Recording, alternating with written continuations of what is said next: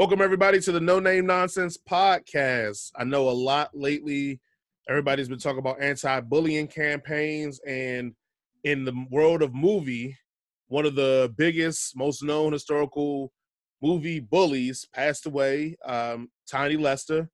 Most people will know him as Deebo from Friday. Um, I know him from something different, which we'll get into later. But we decided, in honor of Deebo and Tiny Lester, to go ahead and do our top three movie bullies of all time. So, before we jump right into that, please remember to follow us and subscribe. We're on YouTube, Facebook, Spotify, all DSPs, Apple Podcasts, Google Podcasts, and etc. And we are also on Head, uh, Head Cannon Circus on Instagram. So you can check that out. I've been doing something very dumb called uh, Head uh, Head Cannon Thoughts, where I make up stupid ideas and thought processes that nobody cares about. So, but check that out all on Instagram. But so we wanted to go into top three movie villain, uh, movie uh, bullies. So when everybody realized we're talking about movie bullies, not really just movie villains.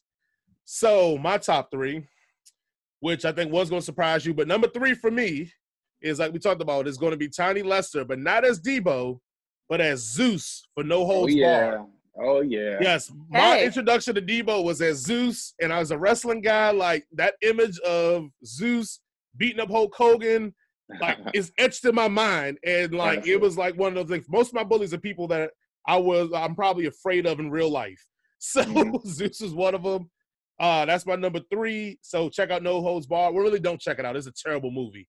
My number yeah. two, which is going to make a lot of people upset, Danny LaRusso from The Karate Kid. I think he's bully. He's the worst kind of bully. He's the kind of bully that once you go and put them hands on him, he acts like he's all weak and innocent.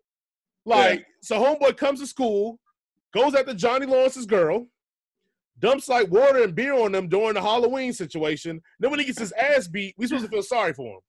Yeah, like he, he didn't bring this on himself. To, like, he go crying running to Mr. Miyagi. right, right, right, right. Like so he's the worst kind of bully. He's the worst kind of bully because you can't even put your hands on him properly. Then finally, when you get a chance to put your hands on him. He does an illegal move to beat you. He's a bu- Danny okay. LaRusso's a bully, and if you have not watched Cobra Kai, you will see even further how Danny LaRusso is a bully. And we fell for this okey doke back in the day, thinking that, oh well, well, he's the bad Johnny Lawrence. Is, no, no. Johnny was just trying to live his life. He was the karate kid. He was the guy that was out here doing the karate thing for real, was hanging out oh. with his oh. boys, had a fine ass girl, living his best life. Here comes this dude from New Jersey, and we know how New Jersey guys get down. Oh yeah. He yeah, come yeah. in there trying to take his girl, messing with him, throwing beer and shit on his head, and then when you got to put these hands on him, he gonna have uh, this old Asian man whoop your ass in the beach. Come on, man. Like, and then I think my number one, which may make a lot of people's list, Biff Tannen from Back to the Future. I think Biff oh, is yeah. probably the ultimate movie villain, and like, I mean, he was even his his ancestors were bullies in Back to the Future Three. So he just yes. grew up in a bully genetic combination for all all history. If you mm. were a Biff or something of a Tannen, you were a bully. So honorable mention, I had the O'Doyles from the Billy Madison saga. They were honorable mention for me. And then I had an honorable mention for um, Gaston from Beauty and the Beast. Oh, yes. He's such a dick. Yes. Exactly. such a dick. Uh, he's he's such a narcissistic pig, and you're just you watch it, and you're just like, ugh, can this guy just shut up? Absolutely, absolutely. All right, DJ Tunez, what do you have for your top three? All right, starting at number three, I'm going with uh the movie Karate Kid, like you referenced Johnny LaRusso. However, I'm going uh, to the opposite end of the spectrum, going with Johnny Lawrence. Mm, okay. Uh, you know, the blonde, the blonde, the blonde bully from Karate Kid. Uh, then number two, I have uh, Kathryn Merteuil uh, from uh, Cruel Intentions. Yes. Sarah Michelle Gellar. Yes. One of my uh, oh. ultimate uh, favorite bullies of all time in uh, yes. cinema. Cinema. I mean, and that's one of those bullies where, like, it kind of is in that the Larusso for me. Like, you can't put hands on her. Yeah. Uh-huh. But then also yeah. she can seduce you and you'll like it, but you know it's exactly. on a bad intention. Like, yeah, I'm, I'm right there with you. It's yeah. it's it's like that she climbed the ladder to success in school. Like she got good grades and she mm-hmm. just she got up there and then as soon as she got to the top, she's like, I am the bitch and you cannot mess with me. Yeah, yeah. She was evil. That bitch yes. was I despise her, but it was a good movie though. number one, my favorite uh, movie bully of all time is Regina George from the Plastics, Rachel McAdams, Mean Girls, Yes. Classic stuff there. I was close on that one too. The the, Yeah. the political game. Yeah, yeah. Like her political game was Trump tight, man. Yep. Hell yeah, for sure. Shout out to her. Shout out to Rachel McAdams. Any uh, honorable mentions you got? Uh, honorable mentions. Uh, I did contemplate uh Tiny Lister Jr. from um, No Holds Barred. That was one of my all-time favorites. You know what I'm saying? I was a big wrestling head back in the late '80s into the '90s. A big Hulk Hogan fan, and hmm that uh that that movie, you know what I'm saying, was one of my all-time faves for real. As a Hulk Hogan fan back in the day, how how much did it break your heart when you realized Hulk Hogan's kind of racist? All right, Mama Steve, top three bullies of all time. Okay, so my number three is Nancy Allen from Carrie. She played Chris. She's that blonde girl She's that um Good one. Good one. yeah, yes. you know who she is. Yes. Mhm, mhm. Oh yeah, and when she just, you know, she's John Travolta's, you know, paramour or whatever and Mhm. like gets that whole idea with the blood and everything. Gosh, she's just pure evil. Yeah. Just Yeah. Oh no, But when you- you dump when you dump pig blood on somebody's head, you're a bit Mm. like you you Oh, yeah yeah yeah you you deserve anything you get at that point. Maybe not death, but real close to it. Yes. Okay. And so my next one is going to be um, Stan Gable in Revenge of the Nerds. Mm. He played Yes. the jock. Yep, the frat Mhm. boy jock. It was like he was like a narcissistic bully, but at the same time he would like gaslight everybody. It's like, well, I we we understand that you want to form your own fraternity. However, don't you think that that could cause a a bit of a disruption, like trying to prevent the nerds from forming a forming a fraternity? you know, and Mm. it was just all that narciss- narcissism, all that gaslighting, and then in the end, he lost the girl. So Yeah. Hey, Yeah. try lambda lambda. Mm-hmm. okay, y'all are gonna laugh at my number one. What you got? it's Scott Farkus from Christmas Story. Oh, yeah, I've I've seen that one. I mean, come on, you know, it's the classic childhood bully. And so my question is. Did this kid ever go to school? Because they show all the school scenes where the kids are going to school, but where's Scott? Like, does he go to school or does he just hang out waiting for the kids to get out of school and to bully them? You know, the, with the raccoon hat. right, right. It's like Scott Farkus was like the definition of bully. Yeah. So that to me, that's going to be the bully that I see Mm. in movies is is Scott Farkus. Um, honorable mentions: uh, Helga Pataki from the Hey Arnold movie. Yes, I know it's Mm. like a television show, but technically they made a movie. they did make a movie. You are Yep. correct. so we're gonna go with Helga Pataki on that one. But Um, wasn't she in love with Arnold?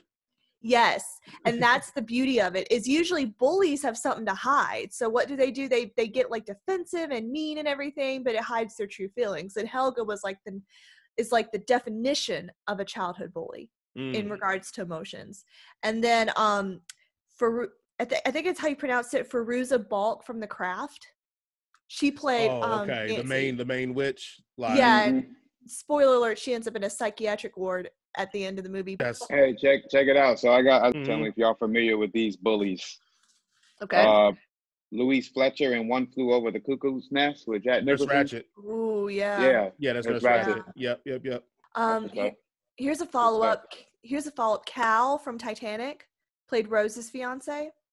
Oh, I've never watched oh. Titanic, so you know. Yes. Yeah. Yes, I like that one. You whoa whoa whoa whoa whoa. Dick. Hold on, whoa, whoa, rewind. Yeah, yeah, yeah, yeah. What Wait, you want to see Titanic? Man, get out of here, bro. Why? Why?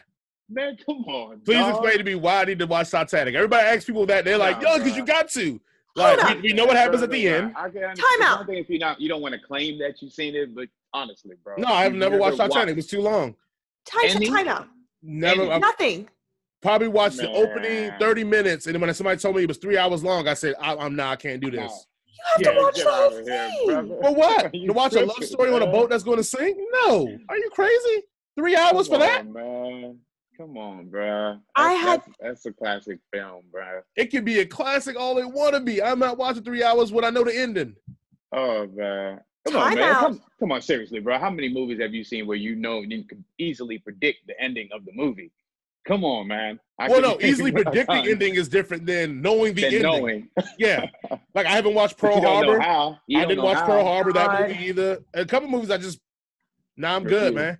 You want to Okay. give me Crazy, man. three hours to watch something I know how it ends? Like, nah, I'm good, man. No, no, you're no, no, no. You have to watch it? it. It's gonna be what it is. Like, It's not about the ending. It's about the in between, the storyline of it. The acting. Come on, man. Come on, bro. I'm You, good, man. dis- you dis you disrespecting movie cinema history there. bro. Nah, nah. I feel like it's a growing movement of people that are like, nah, we're not watching Titanic out here in these streets. Just like it's a growing, crazy. it's just like a, it's a growing system of people who won't watch Avatar, the James Cameron Avatar, which was like the highest selling movie. It's a growing people that be like, nah, I won't watch it. Like, it's it's just Fern Gully with live action. Like, nah, I'm I'm done. I can't I can't Oh, watch You know I'm Titanic. saying? But Fern even Gully. even still, y'all still haven't gave me a good reason to watch it, except for that it's a it's a supposed classic. It is only a classic the- just because like acting, white the people love cinematography, the you know what I'm saying, the script, All of it. it was great. All of it. And I and the understand where you're coming from, knowing you know what's gonna I, happen. I put it at this end. way: Yeah, if I put on. Titanic right now, DJ Tunez, you watching it I will watch it. over football? You I will watch it. Nah, come on, bro. Okay, my point exactly. Oh my God. If I was gonna put Stranger Things or Titanic on Mama Steve, which one you watching? Well, I will watch. Oh Stranger well, Things, see, obviously. okay. I mean, Okay, we've seen time out. Titanic like a dozen times, bro. Time You've out. seen Time Stranger out. Things a dozen I- times. I've seen But it- Titanic more because let me tell you a story, okay? I had to beg my mother for me to go see Titanic and she absolutely refused until I was at summer camp and one of the activities was we were going on a field trip to go see Titanic. The summer counselor and the director had to call my mother at work and it held up the entire group of kids in the bus. So they were begging my mother to let me go with them to see Titanic. And the director clearly stated, Mrs. Burgess, I don't understand why you won't let your daughter go see a movie about a historical fact. This wasn't a historical fact. Only historical fact about the ship went down. There's That's no not- real Rose. There's no real historical DiCaprio character. That is These are exactly all it. made up things for a story that is not even interesting. Okay, but it's not Okay. about that. It's about the it's about the the you know Rose as an elderly lady and she's flashing back to Titanic and there's a lot that happens. It's, With her and her love story with this vagabond dude it's that don't more nobody than care that. about. It's more than that. It's not Oh, about love. It's about what it's about what's right and what's wrong. It's about, you know, honor and dignity. It's about living your life to the fullest versus living a life that you are miserable with all for the sake of money. It There is you it is go. Oh, there's wow, so well much to it. Hold on, hold on. And I could do all of this and not watch a three hour movie about a ship going down. Oh. All that you just said, I can name numerous movies that do that that I don't know the ending of, and doesn't include a ship going down for three hours. But you have no idea what we're talking about with Cal and the bully. That's the point. Cal is a bully and he is a narcissistic pig. He's Rose's fiance. And guess It what happens? I could Guess watch what The Wedding? Singer and get the same story, Guess what happened? and it was You funnier and it was Right, shorter. Hey, hey, have you seen uh Endgame? Yes. Which uh, Hey. what Marvel's Endgame?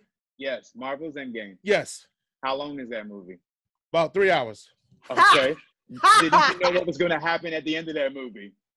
No, actually, I didn't know what was gonna happen at the end of that movie. We all knew that Thanos was. You gonna thought go so? You thought Thanos was gonna die? They were gonna snap Yes! away. Tony Stark was gonna die. Yes. You Oh, all knew all know- this. no, you no, all no, knew did going into know- this movie that the beginning of the not know- movie, Thanos was Hey. getting his head cut off. Hey, Y'all I knew all this, right? I didn't know. I didn't know in Titanic whether what Rose was going to survive. Uh, She I- told the story at the beginning. Oh God. Oh, The beginning didn't- scene is Rose didn't- telling the story. Hold What are you talking hold about? Hold up. The Titanic sinking is not necessarily the end of Titanic. There's more after that. You have to watch it. there were there were survivors. I didn't know who was going to survive and who wasn't. We know Rose is gonna survive because it's told from her story, her point of view. Oh, Which am I did- saying? We A did, movie we where you not, know someone's gonna survive know. is We did bad. not. We did not know Leonardo DiCaprio was going to die. I will grant you that. I would have put very heavy that. odds that majority of people on Titanic would have died. Because we know historically a lot of people on Titanic died because they did not think the ship could be able to sink. Maybe that's the difference, is because I knew a lot about the Titanic before the movie came out. So I was not interested in watching a love story, a dramatization of a ship crashing that we know it was about. Maybe that's the difference here, is that I kind of already knew what was going to happen, and I kind of know a lot about the Everybody Titanic. knew. Everybody knew. more I did. to I did. it. I did not know the history of the Titanic, but I knew that. No, but say I did know the history of the Titanic. yeah, that's what I'm saying. Like, called. so maybe that's why I'm different than both of you guys. Is that I knew the history of the Titanic. Hey, Like, but I knew why know- it went okay, down. whoa, I whoa, knew whoa, whoa. exactly what they Don't- did. Don't you did. know? Don't you know the history of uh, comic books? No, not all of them. Man, you know a good bit of it. I know a good bit, but the movies actually changed the history though. The movies aren't exactly like the books, mm, so okay, it's a probably different interpretation exactly, of it. But you know, you know the premise, and you know more than likely, more more times than not, what's gonna happen, what's gonna transpire. Well, no, because Endgame actually the whole Infinity Saga happens nothing like the books are completely different than what what we saw on screen. Completely different, like not even close. Like none of that Wakanda stuff ever happens in the book. Like it's completely utter different. Like so, Okay. like I, when Bad- you use Endgame bad as an analogy. example, it's it's hard to use in game because it's things in that movie that are, aren't in any of the books, like time Mm. travel and all that stuff. Never Mhm. happens in in, in the, the Infinity Saga. Mm. So like that's a whole that's literally is a whole different movie that is based off of a saga. This movie is about the about the ship, and then they said, "Oh, let's sprinkle in some romance because nobody's gonna watch three hours of us waiting for a ship to crash." Okay, but that's that's the same thing that they do in, in the comic. I mean, in the movies versus the comic books, that they sprinkle in, you know, what I'm saying, and uh, new ideas, and you know, what I'm saying, I to think make the it difference is there is no book about Rose and all them for the Titanic. They took inspiration from and then made it into a movie and then changed some things here. That movie was made with the intent of saying, "Hey, we're going to tell this story, a love story, but we're going to put it placed in the Titanic." And I'm like, I'm not trying to watch no love story for three hours, and then be then I know how it was going to end. So Okay, think of it this way. Their love story is a manifestation of the many love stories that were All right, on that ship when let's it start actually here. happened. how many love story movies are you watching, Tunez? How many? there. No, no, no, no, no, no. I'm gonna finish. How many couples were separated? But separated that's saying what you're have about to say their means nothing to me. It means nothing to me. How many love stories are you watching, Tunez? Not many. Okay, that's my point But- right there. Let's start but- there. Oh, let's start there. One, you're not watching many love stories. How many love stories are you watching, Mama Steve? in regards to what? Just in general, you watch romance movies. How many romance movies you watching? I've probably watched hundreds of them. But Okay, that's stop not right the there. Point. Stop right That's there. not the point Hold on, hold on. So you are interested because of Titanic because you love romance movies. Tunez is interested in it because of historical value and it just happened to be a good story. I'm saying that I care nothing about romance movies and the story doesn't seem interesting to me because I know how it ends. So the things that you guys are wanting me to watch it for mean nothing to me. So why would I want to watch it? Travis, have you seen Titanic? Of course. Okay, of course. Thank you. like, who has Travis has watched never seen Ghostbusters till like three weeks ago. What are we talking about? Okay, Ghostbusters, Titanic. I'm sorry, two different levels. Like, Yes. come on, they're not even on the same. Okay, same let me status. speak on this. So move. Yeah. I guarantee you more people enjoy Ghostbusters than Titanic. Okay. Man, get out of here. That's just So For people yes, will enjoy Ghostbusters they will enjoy Titanic. that's preposterous. yes, I My have daughters seen. will watch Ghostbusters. They will not watch Titanic. I They will watch seen Titanic and be like, I'm gonna go play. I'm gonna Titanic. Is it a must-watch? Absolutely not. So the fact that you haven't seen it, and the fact that I know you anyway, like it's not a big shock that you haven't seen it. And no, Okay. be- Okay. you. I'm And but notice, talking hold on, now. notice his key words. It's not a big shock to him that I haven't seen it because he knows And- I don't want to watch that kind of shit. and you don't need to watch it. It's not that great of a movie. The best part of the movie is the song, which you can just oh, listen Oh, to Lord. anyway. So He All called right, me well, you guys Travis alone. has I settled our Titanic argument that Jason Yes. does not need to go see Titanic. you do not need to go see Titanic, and it's sick. Oh, that'll make me sick. You know, you know, tune in next week when Jason watches Titanic and gives his true feelings about it. I don't think I got three hours in a week to spare watching Titanic. it. Oh, No, you bro. do. Just just to punish you, we're gonna we're gonna make you watch the TNT version for four and a half hours. Oh yeah, oh yeah, I definitely on got you. that time. Shame on you, bro. yes. Oh, I need a, I need a strong beverage. Hold on, let me. Actually, I'm gonna go to the biggest movie guy I know, and he will tell me if it's worth watching. If he says yes, I will watch Titanic. Hey, Alex. Hey, I'm recording the podcast right now, so I said that you're probably the biggest movie buff friend I have forever. And we we got into this debate about watching the Titanic and how I've never watched the Titanic, and DJ Tunez and Mama Steve are appalled and say I should I need to watch the Titanic immediately. Is the Titanic worth my watching time? It's three hours and 14 minutes of your life you will never get back. Thank you. I know that because I, it's the only movie I know the exact running time of because I was checking my watch every 15 minutes. Oh, That solves not all my. eh, Thank you, Alex. I really appreciate your time. hold on, hold on. So he doesn't need to at least watch that movie one time? Yeah. Okay, well, Tune says, do I need to at least watch the movie at least one time then? No, All right, I appreciate for it, Alex. Thank you for your help. no problem. All right, bye. You know what would be a good idea for James Cameron to re-release it with an alternate ending. That would be Yes. awesome. Yes. He Where, where Rose actually saves DiCaprio, or just the ship doesn't go down. Idea. Just give me a bright idea. They need to re-release it with an alternate ending. That would be They just CGI out the iceberg and just keeps coasting. you know what I'm saying? Well, thank you for watching the No Name Nonsense podcast. As we just had a spirited debate about if I should watch Titanic or not, which I know Mama Steve is so heartbroken. You think there's not nostalgia, Mama Steve, that you had to fight so hard to go see this movie, and that's why you love it so much?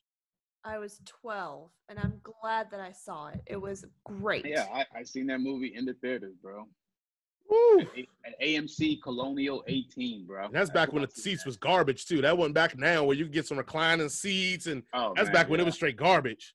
Oh man, my back was so stiff, bro. I didn't sleep good for about two weeks.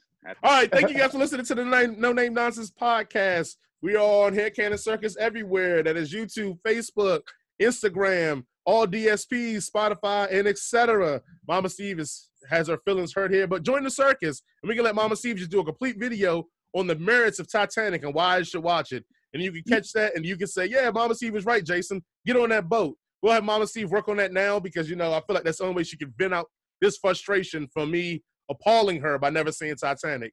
But we'll Hmm. see you guys next time. Stay tuned. Mm.